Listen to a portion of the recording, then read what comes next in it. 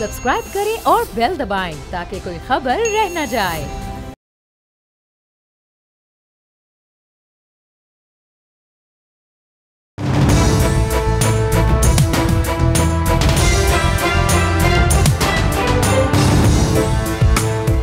बोल की election transmission के साथ मैं हूँ आमिर जिया। तो जनाब इंतबात से सिर्फ़ आठ रोज़ कबल बिलाखिर साइफर केस का फैसला आ गया, जिसमें सबक वजी अजम इमरान खान और सबक वजी खारजा शाह महमूद कुरैशी जो हैं, वो ऑफिशियल सीक्रेट एक्ट के तहत मुजरिम उनको ठहरा दिया गया और दस साल की कैद, साल की कैद सुना दी गई। इस मुकदमे का जो फैसला है, उस पर आज दिन भर हमने बहुत बातें सुनी, तजिया उसके ऊपर सुना, लेकिन ये हकीकत है कि पी टी आई के वकला ने हमत अमली के तहत जो है, आम तरीन गवाहों पर जिरा करने से गुरेज किया। और गुजशत चंद हफ़्ते हम देखते हैं कि अदालत में हाजिर ही नहीं हुए। जिसके नतीजे में ये काम जो है, वो सरकार की तरफ़ से नामजद वकला ने सर अंजाम दिया। पी टी आई की बजाय ये हमत अमली नज़र आ रही है कि जनाब, इस मुकदमे और इसके जो फैसले को दुनिया के सामने मुतनाज़ा बनाकर पेश करें। आज भी पी टी आई के वकला के पास ग्यारह बजे तक का मौका था कि वो रिट दायर करवा कर फैसले को रुकवा सकते थे, लेकिन उन्होंने देर कर दी। तो क्या इसका मतलब ये लिया जाए कि वकला खुद चाहते थे कि सजा हो? ताकि पी टी आई हमदर्दी के वोट हासिल कर सके। अपनी इस कोशिश में वो कहाँ तक कामयाब हुए, ये बिल्कुल एक अलग बहस और उसका नतीजा जो है वो आठ फरवरी को हमारे सामने आएगा। लेकिन अब दावा ये किया जा रहा है कि जी, पीटीआई के वकला जो हैं, वो हाई कोर्ट से इमरान खान और शाह महमूद के हक में फैसला करवा सकेंगे। लेकिन हम देखते हैं कि हुकूमती ज़राए का दावा है कि जी, साइफर केस में उनके पास ना झुटलाए सकने वाले हक़ और नुकात हैं और कोई भी रियासत जो है, किसी आला से आला अपने अहदेदार को हसास कौमी मफाद से जो जुड़े हुए मामला होते हैं, उनको गैर ज़िम्मेदारी से उछालने की इजाज़त नहीं देती। तो जनाब, एक तरफ़ अदालती बहाज से बड़ी बड़ी खबरें आ रही हैं तो देखते हैं दूसरी जानब इंतबी मुहिम जो है, वो बड़े ज़ोर शोर से जारी है। आज भी नून लीग हो, पाकिस्तान पीपल्स पार्टी हो, इस्तेकाम पाकिस्तान पार्टी और दीगर जमातों ने मुल्क के तूल अर्ज़ में छोटे बड़े जलसे किए, जिसमें वोटरों को, कहते हैं उनके दिल लुभाने के लिए बड़े हमने दिल खुशकुन नारे और वादे सुने। क्योंकि बतौर जमात जो है पी टी आई इंतबात से बाहर है। इसलिए हम देखते हैं कि जी बाहिर उन्नीस सौ नब्बे की दहाई की तरह मुकाबला बुनियादी तौर पर नून लीग और पीपल्स पार्टी के दरमियान है।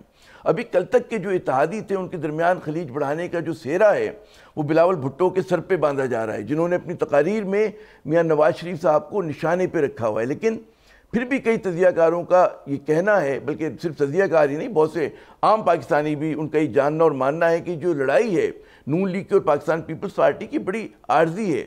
और इस बात का गालिब इम्कान है कि अगर मखलूत हुकूमत बनाने की ज़रूरत पड़ी तो ये दोनों बड़ी जमातें जो हैं, माजी के शिकवे शिकायत एक मरतबा फिर बुलाकर बाहम शिरो शक्र हो जाएँगी।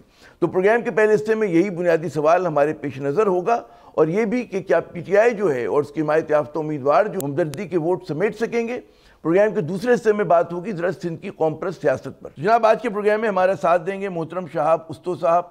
मारूफ वकील हैं, दरस तदरीस से भी वाबस्ता हैं। और इसके अलावा हम देखते हैं कि इनके मजामी जो अक्सर बेशतर हमें अंग्रेज़ी अखबार की वो जीनत बनते दिखाई देते हैं। हमारे आज के दूसरे मेहमान, कमर चीमा साहब बैन अवी ताल्लुक हों, दिफाई अमूरों और मुल्की सियासत हो, तमाम पर गहरी नज़र है कौमी और बैन अवी मीडिया पर। अक्सर हम इनको देखते हैं। मैं दोनों मेहमानों को खुश आमदेद कहूँगा। तो जनाब असो साहब, आपसे शुरू करते हैं। कि पीपल्स पार्टी और खसूस हम देखते हैं कि बिलावल भुट्टो साहब ने जो है, वो वो नवाज़ शरीफ साहब को हदफ तनकीद बनाया हुआ है।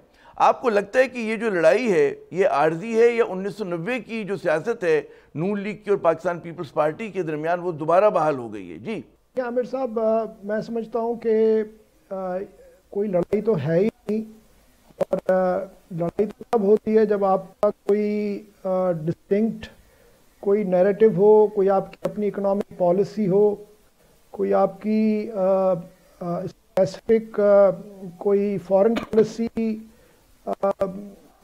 कोई सोशल पॉलिसी जिस पे आप अपने जो मुखालफी हों उनके साथ एक तरह से कॉन्वर्सेशन करें उन पर तनकीद करें, उनके वोट बैंक को जो है आप ओवर करने की कोशिश करें। यहाँ तो ऐसी कोई बात नहीं है। यहाँ तो आप देखें कि चाहे बिलावल भुट्टो जरदारी साहब हों या शबाज शरीफ साहब हों तो वो पर्सनैलिटी के हवाले से एक दूसरे पे हमले कर रहे हैं।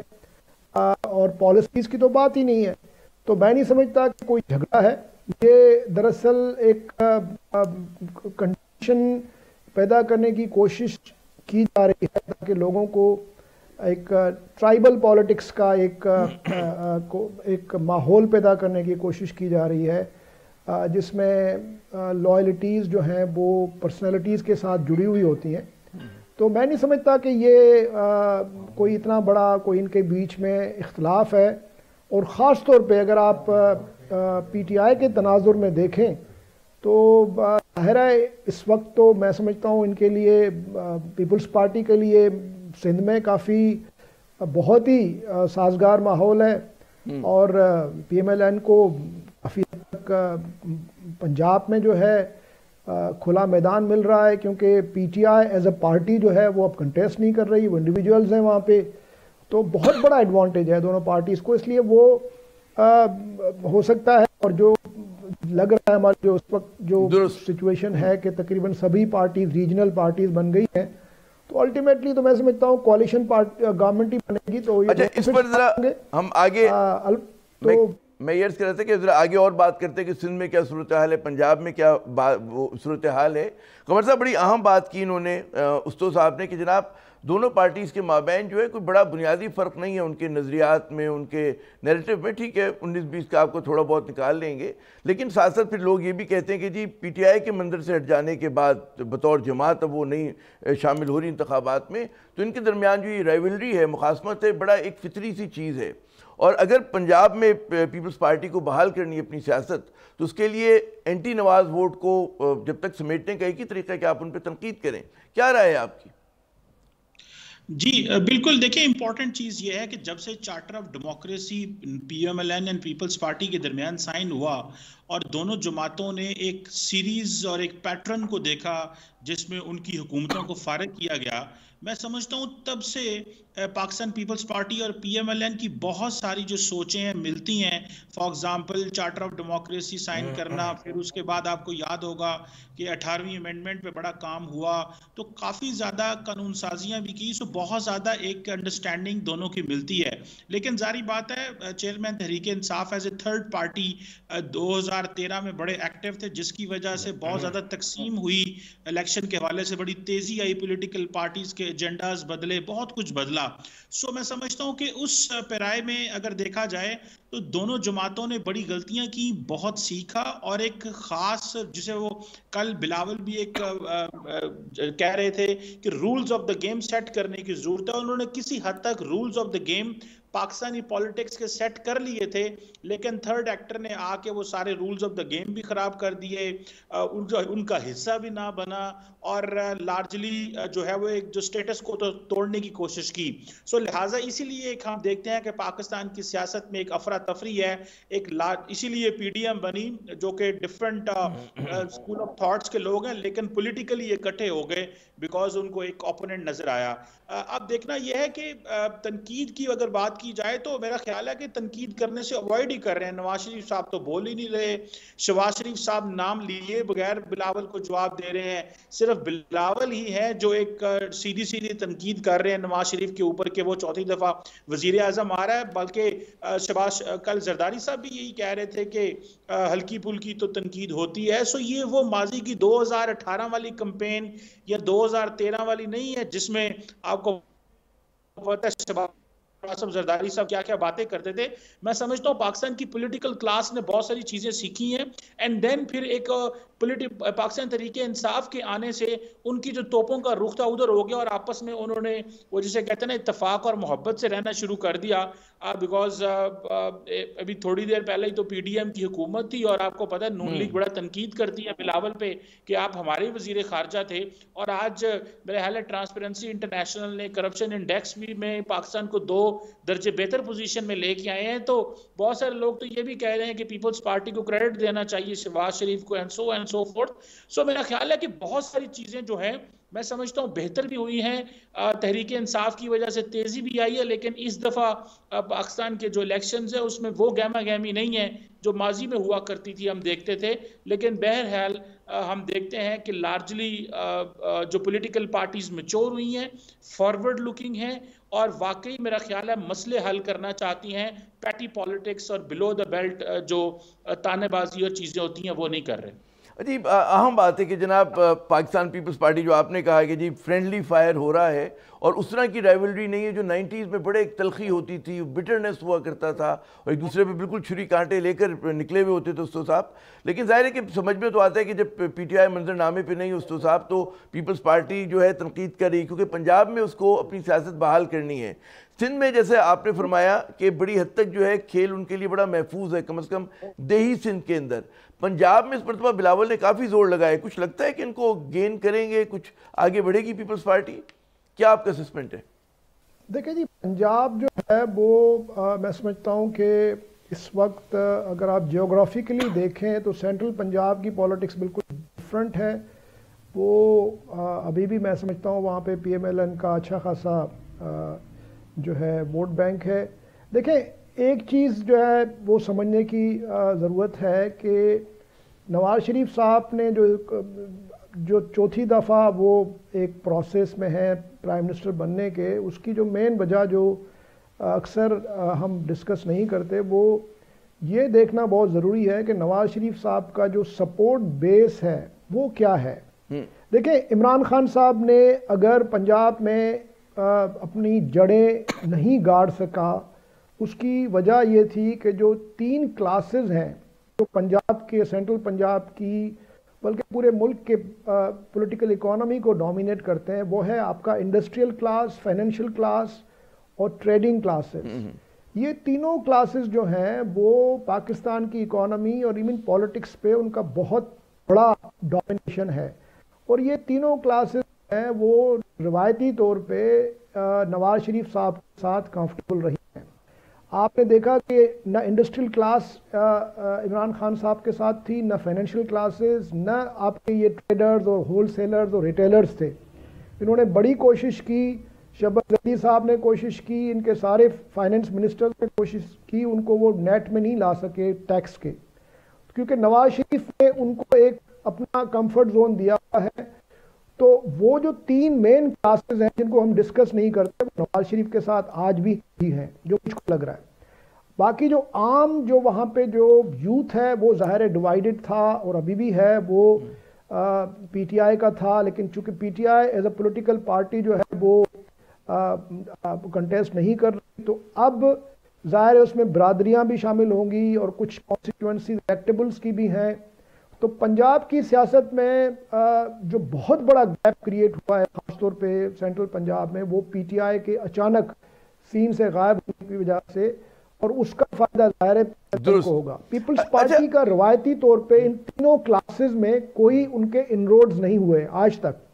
पीपल्स पार्टी इंडस्ट्रियल फाइनेंशियल और ये जो ट्रेडिंग क्लासेस हैं इनके करीब कभी भी नहीं थे तो पीपल्स पार्टी का जो मेन मैं समझता हूँ अल्टीमेट जो होप है जो शायद जहाँ पे उनका कुछ आ, कुछ उनको उम्मीद है वो है साउथ पंजाब।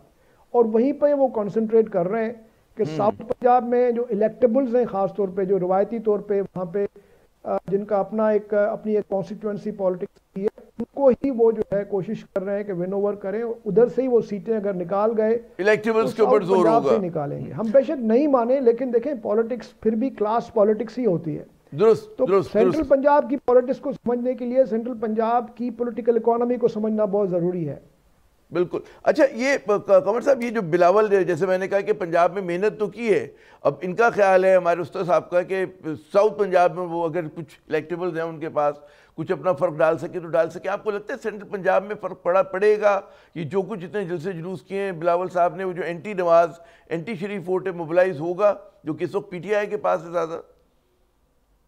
देखिए जी इम्पोर्टेंट चीज़ ये है कि असल में तो पीपल्स पार्टी को जिसे वो कहते हैं ना वो नई सोच को वोट दो लेकिन जरदारी साहब की जो सोच है और उनकी जो हिस्ट्री है और जो उनके बारे में जिस तरह उनको करेक्टराइज किया गया है माजी में हम्म। वो स्टिल डोमिनेट करता है पाक पंजाब के वोटर के दिमाग के ऊपर एक चीज़ अब बिलावल नए हैं उन्होंने यंग लोगों को लेके आए हैं पीपल्स पार्टी के अच्छे कैंडिडेट हैं। आप देखें कि नदीम अफजल चंद को देखें उसके बाद कायरा साहब को देखें फिर सिंध मुल्तान के अंदर हम्म, गिलानी हम्म, साहब के जो बेटे हैं वो बड़े एक्टिव हैं उन्होंने इलेक्शन सीट भी जीती। सो लगता है कुछ सीटें तो वो पाँच छः सात सीटें तो शायद यहाँ से जीते हैं अगर वो जीते हैं तो ये बड़ी रिवाइवल की बात होगी। लेकिन लार्जली जो पाकिस्तानी जो पंजाब का जो वोटर है वो पीपल्स पार्टी को एक खास एंगल से देखता है जिस तरह पीएमएलएन भी कंपेन कर रही है हम्म।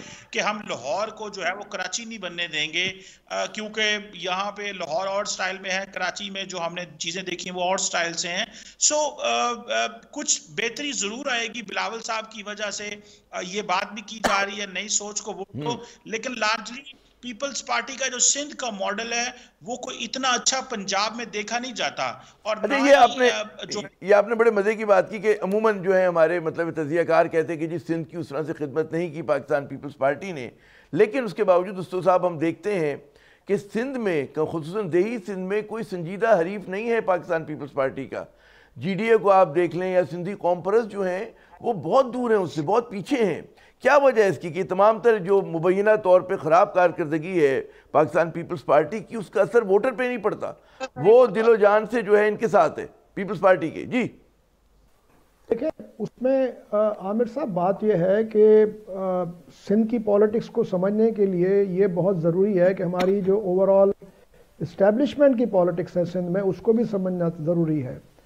अब आप अगर देखें पिछले हम्म। पंद्रह साल से जरदारी साहब की जो डॉक्ट्रिन है वो यही है कि इस्टेब्लिशमेंट को खुश करो और नीचे जो इलेक्टेबल्स हैं ख़ासतौर पे जो फ्यूडल ट्राइबल एलिमेंट है उसको हम्म। बहुत ज़्यादा स्ट्रेंथन किया गया है हम्म।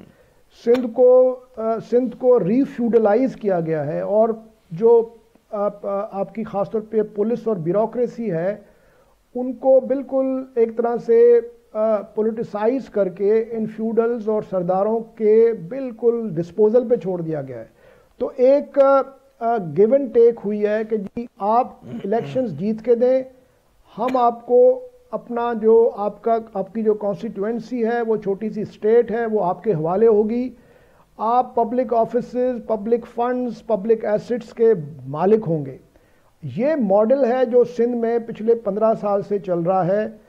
और मैं अनफॉर्चुनेटली मुझको कहना पड़ता है कि इसमें जो पावरफुल सेक्टर्स हैं, उनकी भी आशीर्वाद है। शायद इसलिए कि पिछले कुछ सालों से जो बैटल ग्राउंड है, वो पंजाब शिफ्ट हो गया है तो सिंध को स्टेबल रखना है। सिंध की अपनी एक इकोनॉमिक और ख़ास तौर पे सी पोर्ट की वजह से बहुत एक अपना उसकी जो है, वो सिग्निफिकेंस है। तो जरदारी साहब ने सिंध में एक तरह से स्टेबिलिटी रखी है। और सिंध को वो चला रहे हैं गवर्नेंस के बारे में किसी को फ़िक्र नहीं है सिंध के लोगों की। जो एजुकेशन है और सोशल सर्विसेज़ हैं उसके बारे में किसी को कोई फ़िक्र नहीं है लार्जर पर्सपेक्टिव में जरदारी साहब ने सिंध जो है वो एक तरह से आ, आ, अपने कब्जे में रखा हुआ है और इस्टेब्लिशमेंट खुश है क्योंकि मैं अभी भी देख रहा हूँ कि जो प्रो हम्म। इस्टेब्लिशमेंट इलेक्टेबल्स हैं सिंध में वो आज पीपल्स पार्टी में ज़्यादा जा रहे हैं जिसका मतलब यह है कि इस्टेब्लिशमेंट का अभी भी आशीर्वाद पीपल्स पार्टी को है। अच्छा ये बड़ी दिलचस्प बात आपने तो बताई लेकिन मैं समझता हूँ कि सिंध में जो है और फिर कराची की पॉलिटिक्स में भी देखें पीपल्स पार्टी की एंट्री हुई है उसकी वजह यह है कि एएनपी जी। मैं ये बड़ा बात कंप्लीट कर लूँ। दुरुस्त। कराची की पॉलिटिक्स को भी अगर आप देखेंगे तो इट्स वेरी इंटरेस्टिंग कि कराची में पीपल्स पार्टी ने इमर्ज किया है at the cost of PTI at the cost of ANP and to some extent at the cost of MQM. ये तीनों जो पार्टीज़ थी कराची में जो जिनका यहाँ पे स्ट्रांग होल्ड था एएनपी के पठान बेल्ट जो है कराची का उसमें अच्छा खासा असर था वो तकरीबन सारा पीपल्स पार्टी ने टेक ओवर कर लिया है पीटीआई जो है वो आ, आपने देखा कि अब स्प्लिंटर हुई है तो उसका वोट बैंक भी रिवायती तौर पे या तो एमक्यूएम को जाता, लेकिन चूँकि एमक्यूएम ने अभी तक कोई इतना जो है कन्विंसिंग रिसर्जेंस नहीं किया। एमक्यूएम अभी भी लग रहा है कि बहुत से प्रॉब्लम्स का शिकार है तो उनका कोई मोमेंटम भी नहीं बन पाया है। और उनकी जो रिवायती ट्रेडिशनल पॉलिटिक्स जो एथनिक अपील थी उसको उन्होंने अभी तक कैश नहीं करवाया वो अभी तक नहीं जा सके। हाँ। तो पीपल्स पार्टी इसलिए कराची में भी अपने आप को काफ़ी जो है वो उभरते हुए देख रही है। पहली दफ़ा कराची का मेयर पीपल्स पार्टी का बना है हैदराबाद का अच्छा मुझे मुझे जरा खता कलामी करने थे मैं मैं चाहूँगा जरा सा आगे लेके जाऊँ डिस्कशन को। ये जो बात की है शाह उस्तो साहब ने कमेंट में सुना होगा। वो कह जी के साथ बहुत ही मतलब है क्लोजली ताल्लुकात हैं पीपल्स पार्टी के, लेकिन इशारे ये भी हैं कि जनाब मतलब है कि मतलब है कि इस मरतबा, क्योंकि कारकर्दगी ऐसी रही है तो जो हमारे इदारे हैं, वो इतने खुश नहीं हो चाहते कि जी, सिंध तरक्की करे, उसका शहरी सिंध तरक्की करे, देही सिंध तरक्की करे। आपको क्या इसके, वहाँ पंजाब से अगर आप जब रीड करते हैं, सिंध की पॉलिटिक्स को तो किस तरह से देखते हैं? जी। देखें जी मैं समझता हूँ कि जब से अठारहवीं अमेंडमेंट आई है पैसे तो ऑलरेडी देखिए सूबों के पास चले जाते हैं।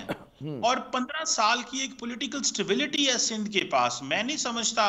देखिए 2010 के बाद अभी अब 14 साल हो गए हैं 15 साल। हम्म। अगर पीपल्स पार्टी जो है वो इतने कांस्टेंट पॉलिटिकल स्टेबिलिटी जो प्रोविंशियल लेवल पे उनको मिली है with devolve financial and administrative powers अगर वो स्टिल तब्दीली नहीं लेके आ रहे या तब्दीली नहीं आई और सिंध के लोग नहीं समझ पा रहे, गो के वो, जैसे आपने कहा कि वो वोट उन्हीं को देते हैं क्योंकि उनके पास चॉइस नहीं है।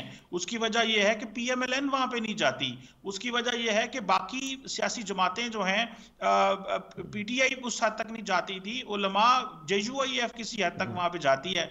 सो मैं समझता हूँ कि स्टैब्लिशमेंट ये थोड़ी कहती है कि आप डिलीवर ना करें। जब आपके पास ऑलरेडी पैसे आ गए हुए हैं तो अब आपका काम है डिलीवर करें, लोगों को प्रोजेक्ट्स दें और ये जो तासुर एक है पीपल्स पार्टी के बारे सिंध में वो तासुर खत्म हो जाना चाहिए। अब बहुत देर हो गई और एस्टेब्लिशमेंट जो है वो आपने सही कहा कि खुश करने की कोशिश करते हैं। मेरा ख्याल है कि जरदारी साहब समझते हैं कि वो जो एक स्ट्रॉन्ग पॉलिटिकल लीडरशिप हुआ करती थी पीपल्स पार्टी की जो बेनजीर भुट्टो रिप्रेजेंट करती थी शायद वो उस तरह नहीं अब रिप्रेजेंट करते सो एक स्टेप पीछे हट के उनको एस्टेब्लिशमेंट से डील करना पड़ता है। ये एक रियलिटी भी है लेकिन सम हाउ उनको इसका एडवांटेज ये है कि वो कॉन्स्टेंटली फिफ्टीन ईयर्स जो है वो सूबे में हुकूमत कर रहे हैं। ये डेढ़ साल उन्होंने फिर लगा लिया। इससे पहले जो है वो 2013 तक भी वो हुकूमत में रहे। सो इतनी कोई बुरी पोजीशन नहीं रही। उनकी सेनेट में भी उनकी अच्छी भली मेजोरिटी होती है बिकॉज़ सो सो ये चीज़ें तो हैं बहुत बहुत शुक्रिया कमर चीमा साहब और शाह बस्तो साहब आपने दिया।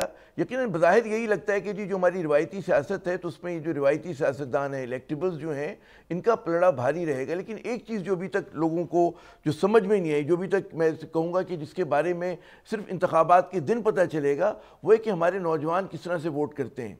जो इक्कीसवीं सदी का पाकिस्तान है, क्या वो इन रिवायती सियासी जमातों के साथ उनकी बातों को समझ पा रहा है? उनके उनके साथ अपने आप को जोड़ पा पा पा रहा है? उनका बयानिया उनको जो है उनके दिल दिलो दिमाग पर असर कर रहा है? ये भी देखना है, क्योंकि बहुत सारे लोगों का ख्याल ये है कि जी, जो ट्वेंटी फ़र्स्ट सेंचुरी पाकिस्तान है, उसका उस, वो किसी और उस पर है, रास्ते पर है, और हमारे जो बीसवीं सदी के सियासतदान हैं, वो किसी और रास्ते पे। यहाँ पे लेते एक वक्फा, वक्फे के बाद जब दोबारा आएँगे, बात कुछ सिंध की सियासत की हुई है तो मजीद सिंधी की सियासत पे बात करेंगे, और अक्सर बेशतर हम बात करते हैं जनाब बड़ी सियासी जमातों की। हम देखते हैं कि जी, छोटे प्लेयर्स हैं, वो किस तरह से पूरे मार्के को देख रहे हैं, बात होती है वक्फे के बाद।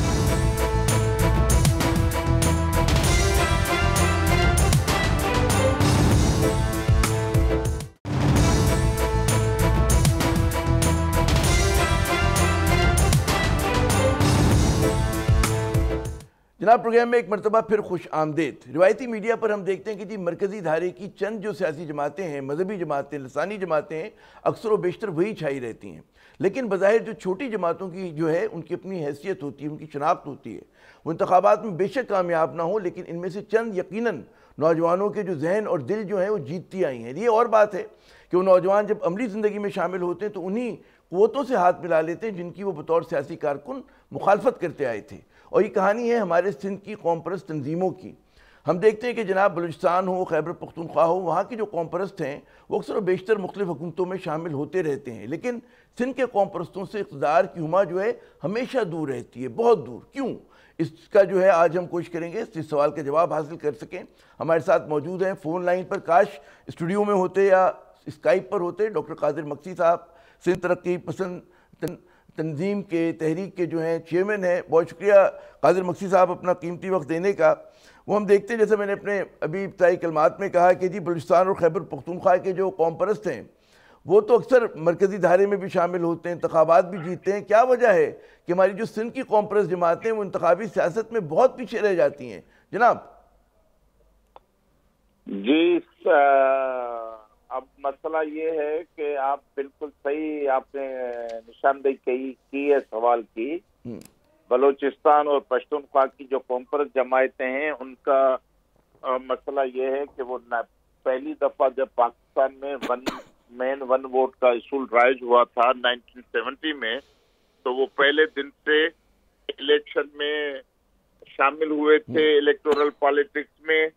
और जब उस जमाने में ईस्ट पाकिस्तान की तरफ़ तो अवामी लीग बहुत मकबूल जमायत थी। वेस्ट पाकिस्तान में सिंध बलूचिस्तान और पश्तूनख्वा में नेब का एक अलायंस था नेशनल अवामी हम्म। पार्टी के हवाले से।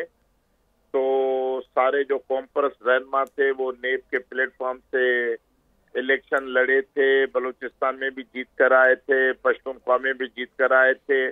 लेकिन सिंध में साई एम सैद साहब जो थे वो तना अपनी कौमी असम्बली की सीट लड़े थे और वो हार गए थे। उसके हारने के बाद जो है वो जीएम सैयद साहब जो थे वो सिंधु देश के फलसफे पे चले गए थे और कौम पर सियासत को पार्लियामेंट से बिल्कुल अलहदा कर दिया था जिस वजह से बहुत सालों का गेप आ गया। तो लोगों की जो जहन साजी थी कि पार्लियामानी सियासत जो है वो सिर्फ़ जागीरदार पार्टियाँ जो भी हैं वफाकी पार्टियाँ वो सियासत में हिस्सा करेंगी और कॉम्पर सियासत जो है वो सिर्फ़ नारेबाजी करेगी जेल खाएँगे और जो कौमी मसाइल होंगे उनके लिए जदोजहद करेंगे हम्म। तो इस जेब की वजह से आपको सिंध में बहुत बड़ा खाल मिल रहा है कि कॉम्पर सियासत जो है वो पार्लियामानी सियासत या इलेक्टोरल पॉलिटिक्स में उनकी जगह न बन अच्छा ये तो आपने एक एक उसकी हमें तशरी दी कि जनाब क्योंकि हमेशा से इंतबी सियासत से दूर और इतना बड़ा गैप आ गया। इसको एक और भी जाविये से देखा जा सकता है कि जी जो सिंध का वोटर है जही सिंध का वोटर है खसूस और ज़ाहिर शहरी सिंध के भी, वो वफाक परस्त रहे। उन्होंने हमेशा वफाकी जमातों को वोट दिया। ठीक है, एक छोटा सा जो एक फ्रिंज एलिमेंट है, वो तंजीमों के साथ चला जाता है, कॉम्प्रस तंजीमों के साथ, जिसमें नौजवान अक्सर होते हैं। लेकिन जो एक मेन स्ट्रीम सिंध है, वो वफाकी पार्टियों के साथ जाते हैं। पीपल्स पार्टी नहीं तो उसकी मुखालिफ जी डी ए जैसे कि आपने फरमाया। जागीरदारों की पार्टी है, उनके पास जा रहा होता है तो इसमें जो है, लगता है क्या कौम परस्तों ने रीड गलत कर रहे हैं सिचुएशन को? वो जो सिंध का वोटर है, वो कुछ और सोच रहा है और कौम परस्त अपने रेटिकल नारों के साथ कोई और बात सोच रहे हैं? जी।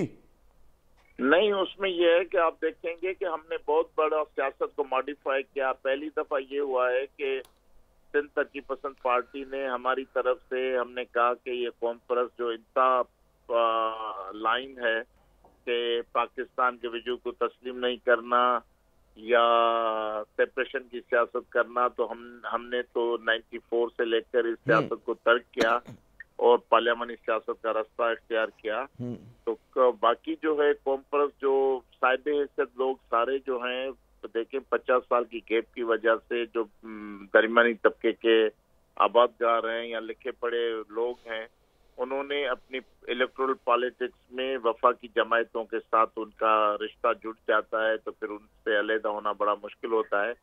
तो अभी हमने जाकर लोगों में ये सूझबूझ पैदा की है कि असल में जो सिंध के लोगों के मसाइल हैं, वो जागीदार सियासत की वजह से, न कॉम्पर सियासत मसला है, न वफा की सियासत मसला है। ये जागीदार क्यादत जो है जो जमहूरियत के नाम पे हम्म। वफा की सियासत पर काबिज है और जागीरदारों की सियासत में मज़बूत कब्जा और हिस्सेदारी जो है जिस वजह से सिंध के बहुत बड़े सियासी मुआशी मसाइल हैं वो हल नहीं हो सके तो ये बहुत ज़रूरी है कि जागीदार सियासत को खैरबाद कहा जाए और मिडिल क्लास सियासत जो है उसको मज़बूत किया जाए। तो ये, अब ये, ये बड़ी आपने अहम बात की। कादिर मक्सी साहब आपने कहा जी मुतवसत तबके की सियासत को मज़बूत करना चाहिए। क्या वजह है कि फिर आप जैसी तनजीमें जो सिंध के दीगर कौम परस्त हैं वो शहरी सिंध में क्यों नहीं अपने तहदी तलाश करते? वो क्या वजह है कि शहरी सिंध से गुरेज करते हैं? वरना जो जो समझ में आती है हमारी बात कि होना तो ये चाहिए ना कि शहरी और देही सिंध के जो मुतवसत तबके के लोग हैं या मतलब मजदूर पेशा हैं किसान हैं उनको फिर तबकाती बुनियादों पर एक जमात का हिस्सा होना चाहिए कम अज कम। बिल्कुल सही है। आप बिल्कुल सही बात कर रहे हैं। हम्म। अब मसला ये है कि देखिए शहरों में जनरल जिया के बाद जो है पॉलिटिकल इलेक्ट्रल पॉलिटिक्स जो है वो एमक्यूएम के हाथ में चली गई थी। हम्म, तो जितनी भी पुरानी जो कम्युनिस्ट लेफ़्ट ओरिएंटेड पार्टी थी, मजदूर किसान पार्टी है, डेमोक्रेटिक पार्टी है, कम्युनिस्ट पार्टी थी, वो सारे केडर जो है, वो या तो पीपल्स पार्टी में चले गए या फिर एमक्यूएम की तरफ़ उनका रुख हो गया। इस वजह से वो जो प्रोग्रेसिव सियासत थी, उसका भी कराची और हैदराबाद जैसे शहर, अर्बन शहर है उसमें जो है वो बिल्कुल डाउनफॉल हुआ है। तो अब कॉम्पर जो एमक्यूएम की सियासत थी वो बिल्कुल इंतहा को छू रही थी कि भाई नस्ल परस्ती की सियासत करना और फिर उसमें मारधाड़ का मसला था। फिर एमक्यूएम ने मुशरफ के आने के बाद जो वो एमक्यूएम मुआज सियासत से निकलकर मुतदा की सियासत में आए।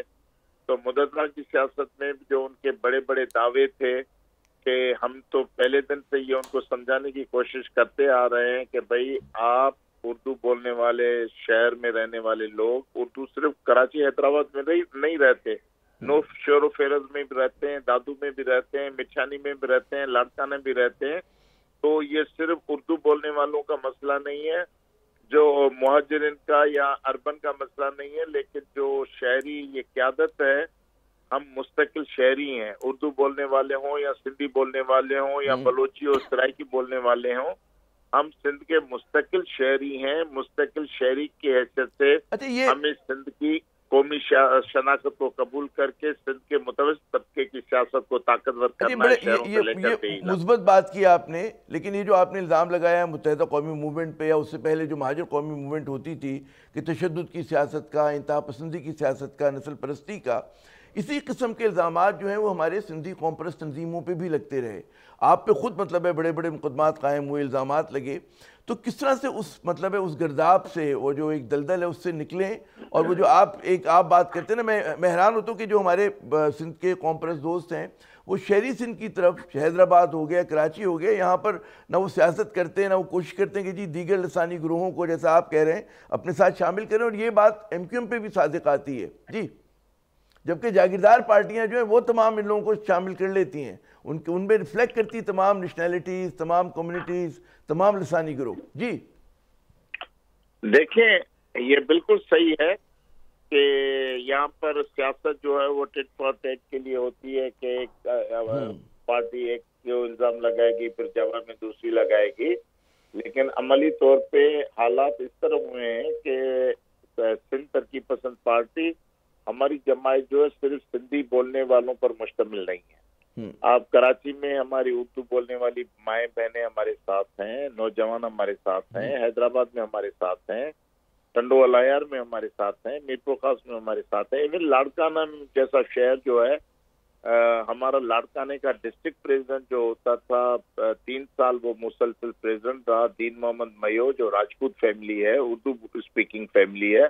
वो हमारा तीन साल प्रेसिडेंट रहा। दुरुस्त। हमारे दो शोधा हैं जो अली मोहम्मद और गुल मोहम्मद जो राजपूत फैमिली के हैं उर्दू बोलने वाले हैं टंडो इलायर में। तो हमारे पास तो उर्दू बोलने वाले शोधा की लिस्ट में भी शामिल है। अच्छा अब तो ये, ये नहीं है कि कतई ये- पार्टी कोई कंजर्वेटिव जमायत है और वो किसी आम दुरुस्त उर्दू बोलने दुरुस्त वाले दुरुस्त। लोगों अच्छा ये ये मुझे बताइएगा हमने देखा कि बाज़ सिंध की जो कॉम्प्रस तंजीम है वो जी डी ए के इतिहाद में भी शामिल हुई। और उनका जो एक नुक़ नज़र है वो कहते हैं दावेदार हैं कि जी हम तरक्की पसंद सियासी जमातें हैं और हम बाएँ बाजू की सियासत करते हैं लेकिन फिर भी जी डी ए में शामिल हुई। तो वो तजर्बा उन जमातों का कैसा रहा जो कॉम्प्रस शामिल हुए थे? और वो भी मतलब है कि इलेक्शन जीत ना सके। जी। आप मुझे इम्तिहान में डाल रहे हैं। भाई इम्तहान से तो कॉमरेड गुजरते रहते हैं ना कोई बड़ी बात नहीं है। जी। जीतीए जो है हम्म। एक अपोजिशन की जमायत इताद है ये एक जमायत नहीं है। लेकिन ये इताद अलाइंस है जिसमें जो प्रोग्रेसिव नेशनलिस्ट लोग हैं मसलन अयाज लतीफ पलीजो साहब हैं या सैयद जैन जैन शाह जलाल महमूद शाह की जमायत है वो भी इसमें शामिल हैं और इंडिविजुअल जो है जुल्फकार मिर्ज़ा साहब हैं सफदर अब्बासी साहब हैं वो सारे लोग शामिल हैं।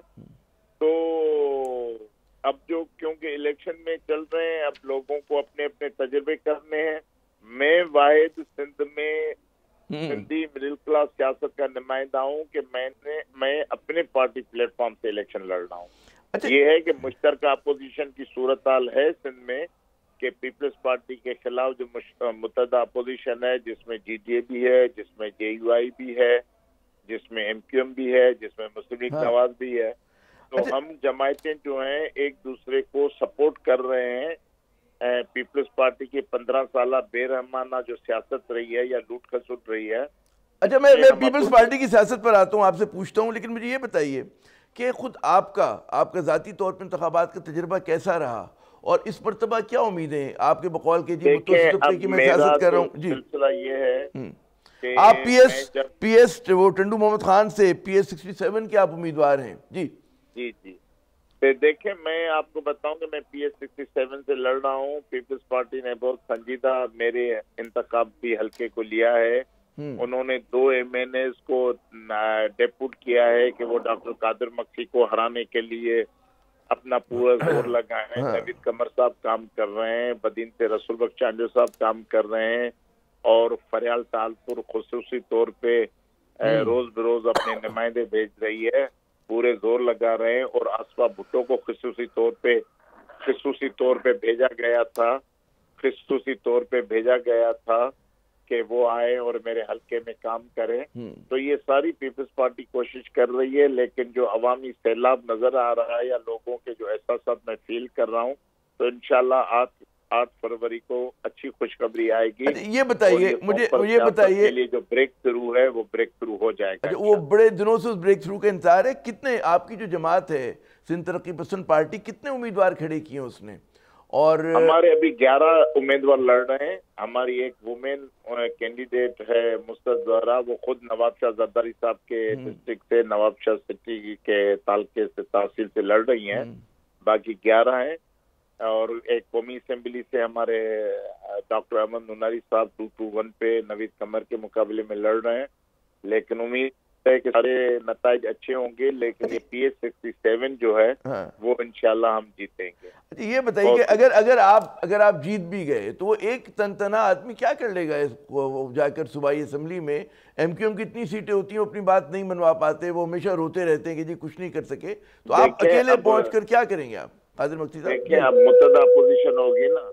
जी वहाँ मुतदा अपोजिशन होगी कि पीपल्स पार्टी की हुकूमत होगी या अपोजिशन पार्टियों की हुकूमत होगी जिनकी भी हुकूमत होगी जो भी अपोजिशन में आएँगे हम्म।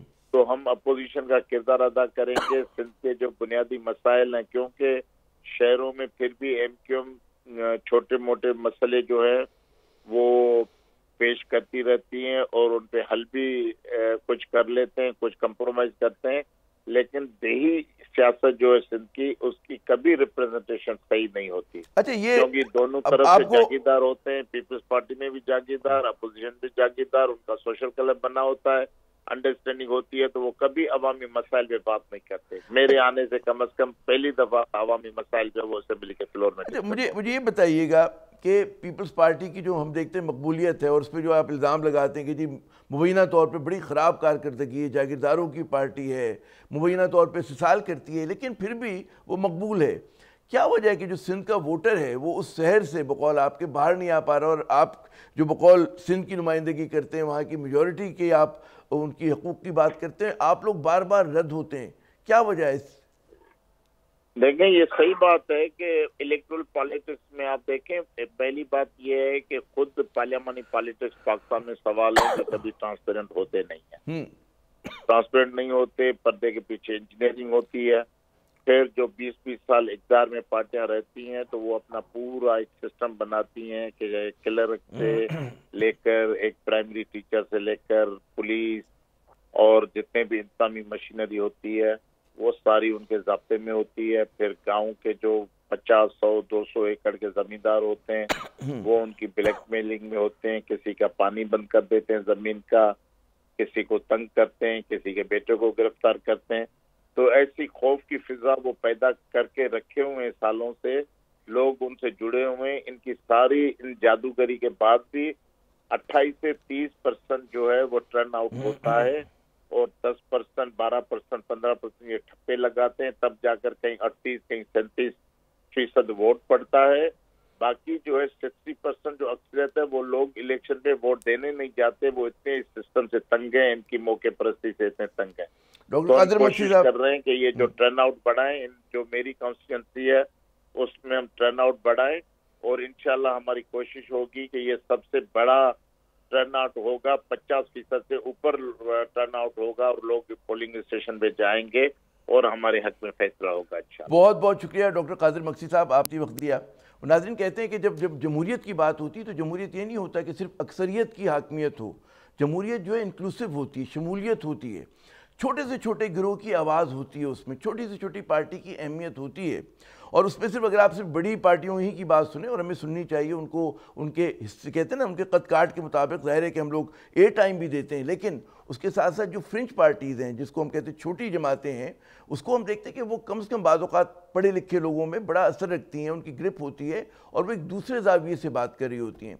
तो उन आवाज़ों का भी जो है सामने आना बहुत ज़रूरी होता है। इसी स्प्रिट के तहत डॉक्टर कादिर मक्सी साहब आज हमारे प्रोग्राम का हिस्सा थे और बात यह है कि इन्होंने बात की जी टर्नओवर जितना ज़्यादा होगा, उतना अच्छा होगा वाकई यही बात है कि जितने लोग निकलेंगे, वरना हमारी जमहूरियत होती है, सिर्फ़ अकलीतों की नुमाइंदगी कर रही होती कुछ चंद फ़ीसद लोग जो होते हैं, उनके वोट के ऊपर अगर चालीस फ़ीसद टर्न आउट है तो ज़रूरी नहीं कि विनिंग जो कैंडिडेट उसके दस बारह परसेंट होते हैं बाज़ात और वो जीत जाता है। तो जितने लोग निकलेंगे, उतना ही जो है, जमहूरियत हमारी साफ़ शफाफ होगी। और पाकिस्तान के इसकाम के लिए भी साफ़ शफाफ जमहूरियत जो है, बहुत ज़रूरी है। तो अगले प्रोग्राम तक के लिए आमिर को इजाज़त दीजिएगा। खुदा हाफिज़।